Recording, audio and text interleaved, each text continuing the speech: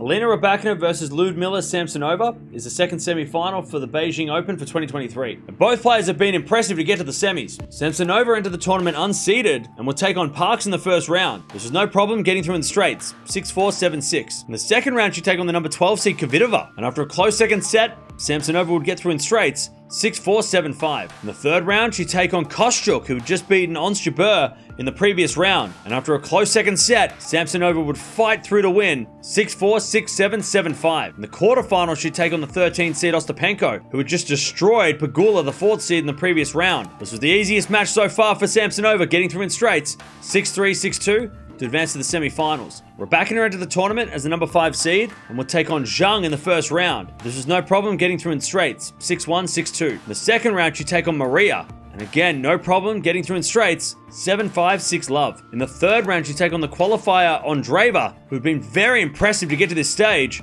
and after being down a set and a break, Rybakina would fight back to win 2-6, 6-4, 6-1 to get through a very tough matchup. In the quarterfinals, she'd take on the world number one, Sabalenka, a player she'd beaten at Indian Wells back in March. And after a tough first set, she gets through in straights 7 5 6 2 to advance to the semi finals. These two have played three times before, with Samsonova leading the head to head 3 0, including a match a couple of months ago where Samsonova got the three set win. But Rybakina is looking a lot fresher now and also looks injury free, which is really good to see for the first time in a long time. If Samsonova's going to win this one, she needs to play better than she did against Ostapenko. The reason why she beat Ostapenko so easily is because Ostapenko played terrible and hit a lot of double faults, a lot of errors.